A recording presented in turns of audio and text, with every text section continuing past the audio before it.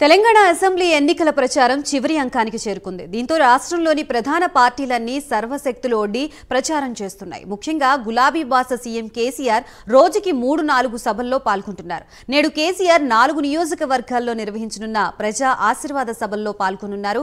మహేశ్వరం వికారాబాద్ జహీరాబాద్ పటాన్చెరు నియోజకవర్గాల్లో నిర్వహించనున్న బహిరంగ సభల్లో పాల్గొని ప్రసంగించనున్నారు. పదేళ్ళలో తెలంగాణ రాష్ట్రానికి బీఆర్ఎస్ ప్రభుత్వం చేసిన అభివృద్ధి గురించి వివరిస్తూ ప్రచారం చేస్తున్నారు.